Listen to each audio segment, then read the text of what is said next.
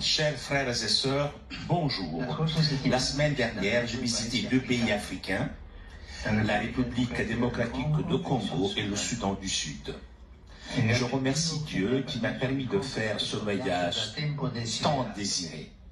Deux rêves, rendre visite aux Congolais gardiens d'un pays immense, poumon vert de l'Afrique, avec l'Amazonie, ce sont les deux poumons du monde.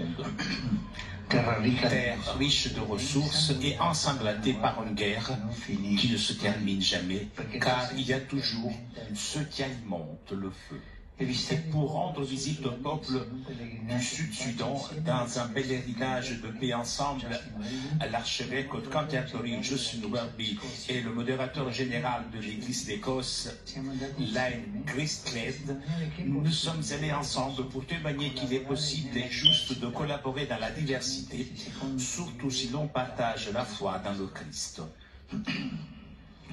Les trois premiers jours, j'étais à Kinshasa, capitale de la République démocratique du Congo.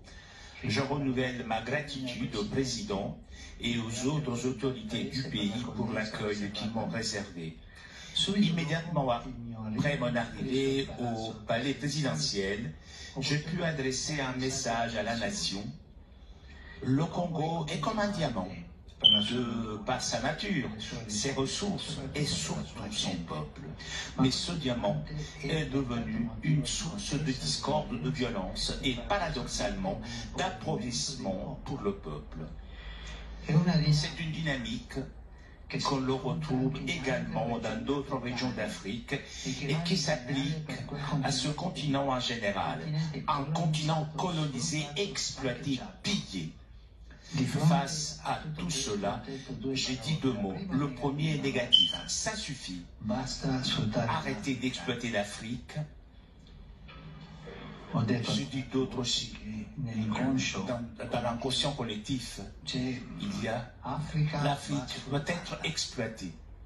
Ça suffit, ça suffit cela. Voilà ce que j'ai, ce Le deuxième mot est positif, ensemble, ensemble avec dignité, tous ensemble, avec un respect, respect mutuel, ensemble au nom du Christ, notre espérance. Avancer, ne pas exploiter et avancer ensemble. Et au nom du Christ, nous nous sommes réunis dans la grande cathédrale eucharistique.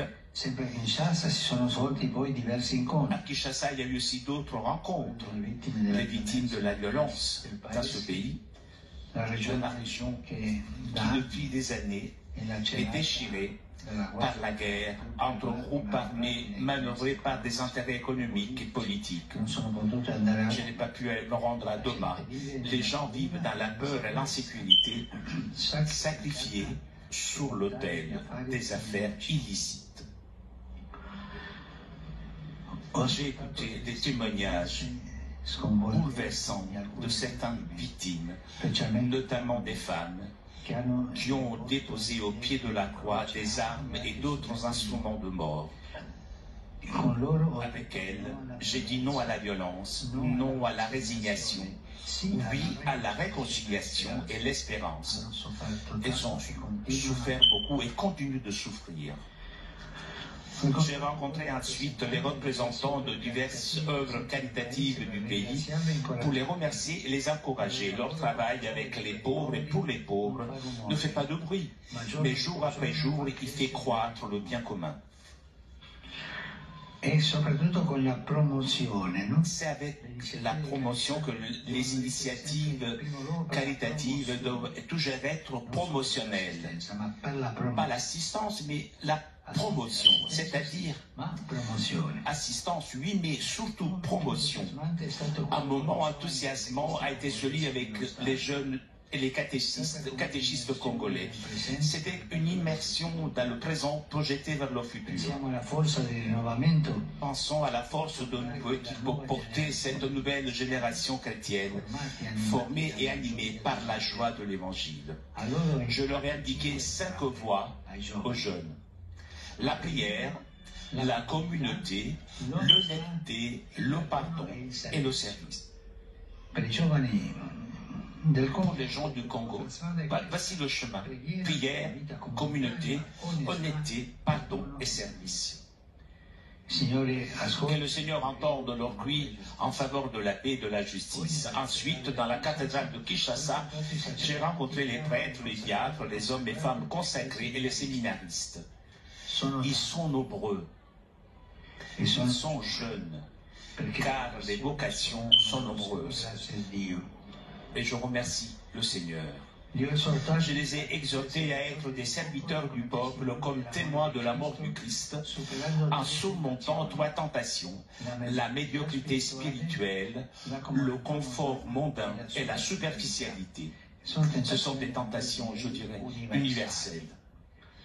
Pour les séminaristes et pour les prêtres. La médiocrité. la médiocrité spirituelle, lorsqu'un prêtre tombe dans la médiocrité, c'est triste. Le confort mondain, la mondanité donc. C'est l'un des, des mots les plus